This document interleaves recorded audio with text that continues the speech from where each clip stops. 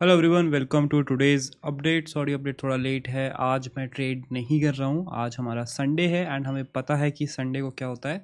Sunday को हमारा weekly closing होता है। तो साढ़े पाँच बजे हमारा वीकली क्लोजिंग है, जिसका मैं इंतज़ार कर रहा हूँ, इसलिए हम ज़्यादा ट्रेड नहीं कर रहे हैं।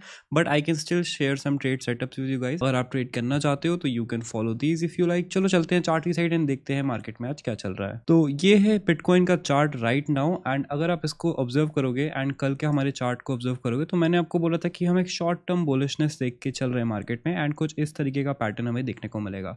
तो सेम चार्ट अगर हम आज ऑब्ज़र्व करें तो आपको दिख रहा है कि हम यहाँ से उसी पैटर्न में ऊपर जाना स्टार्ट करें एंड यहाँ आप देख सकते हो कि कुछ इस तरीके का ही पैटर्न हमें देखने को मिल रहा है। तो इस रेंज में हमारा बिटकॉइन अब मूव करने लग गया है बट ये रेंज ज़्यादा दिन तक टिकनी नहीं चाहिए। उसका रीज़न अगर आप रेगुलर व्यूअर हो चैनल के तो आपको पता होगा, वो ये है this is the decreasing trend in the volume and जब भी ऐसा ट्रेंड वॉल्यूम में देखा जाता है तो हमें देखने को मिलता है एक सडन मूव यानी कि एक स्पाइक आने वाला है बिटकॉइन के प्राइस में।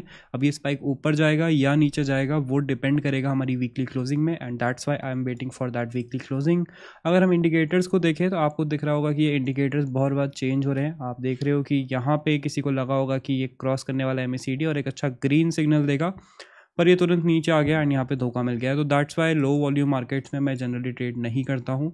तो आज हम थोड़ा ट्रेड को बैक सीट पे लेंगे एंड डिस्कस करेंगे कि लार्जर टाइम फ्रेम्स पे हमें क्या आइडियाज़ दिख रहे हैं ट्रेडिंग के लिए। तो सबसे पहले तो करंट चार्ट पे देखोगे फोर आवर्स के तो यहाँ पे हमारे पास दोनों के दोनों एम ए यहाँ पे टकराने लग गए हैं। जैसा कि मैंने आपको इस एरिया में बताया था कि ये एमए से वापस टकराएगा क्योंकि एम से ज़्यादा दूर रह नहीं पाता है एंड बार बार इसमें बोलिंजर स्क्वीज होगी। तो ये एमए के पास आ गया है एंड ये एम को अब टेस्ट करेगा। अब ये एम से कैसा रिएक्ट करेगा वो डिपेंड करेगा हमारी वीकली क्लोजिंग में। आप देख रहे हो कि हमारी जो वीकली क्लोजिंग है, वो भी एमए के बहुत पास है। मेरे हिसाब से एक अच्छे सिनारियों में क्या होना चाहिए कि हम यहाँ से एक अपसाइड में स्पाइक देखें BTC में एंड वो स्पाइक इस एम के ऊपर क्लोज हो, जिससे हमारा वीकली जो चार्ट है, वो भी थोड़ा अच्छा दिखने लग जाए एंड वो भी हम ट्वेंटी एम के ऊपर क्लोज करें।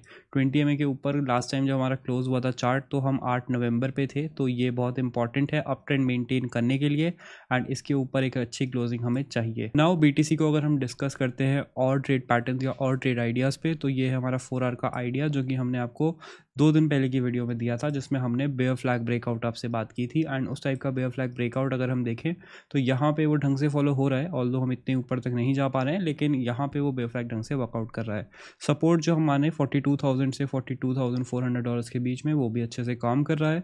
एंड हमारी जो फाइनल ट्रेड आइडिया की साइड चलते हैं, ये हमारा एक बुलिश ट्रेड आइडिया है एंड मेरे हिसाब से ये वाला वर्कआउट करेगा अगर तो बहुत अच्छा हम ऑल टाइम हाई की साइड जाता हुआ देख सकते हैं बिटकॉइन को। एंड ये क्या है? अगर आपको याद होगा तो this is called a cup and handle तो कप एंड हैंडल पैटर्न है। सारी कंडीशन यहाँ सेटिस्फाई हो रही है और यहाँ पे हमें डेली के टाइम फ्रेम पे देखने को मिल रहा है।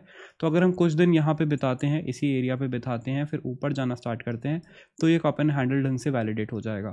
एंड हमें एक बी में बहुत अच्छा अपसाइड देखने को मिलेगा। तो ये डिसेंट हमारा रिस्क टू रिवॉर्ड रेशियो है। एंड अगर इंडिकेटर्स को हम यहाँ पे ऑब्ज़र्व करें तो कप एंड हैंडल हमें क्या दिखाता है कि ये वाला जो एम है, ये नीचे की साइड है। एंड अब ये थोड़े दिनों में पैरल जाएगा। बेसिकली कुछ इस तरीके का मूवमेंट हमें देखने को मिलेगा एम से।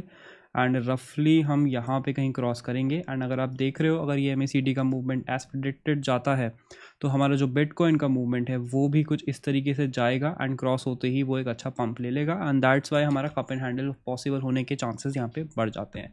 तो इन trade ideas and lower volume market को नज़र में रखते हुए आज मैं ज़्यादा ट्रेड्स नहीं करूँगा। अपने एस इन्वेस्टमेंट्स बस करूँगा, क्योंकि बी हो सकता है एक लोकल बॉटम हिट कर रहा हो। तो there is a good chance कि अगर आज मैं थोड़ा सा इन्वेस्ट करता हूँ तो I can make quick profit on it तो उसके अकॉर्डिंगली मैं यहाँ पे ट्रेड करूँगा। I will not be doing some long and short leverage trading इस मार्केट में बहुत ज़्यादा रिस्की है क्योंकि हमें इंपॉर्टेंट सपोर्ट के पास है एंड वीकली क्लोजिंग अभी हुई नहीं है।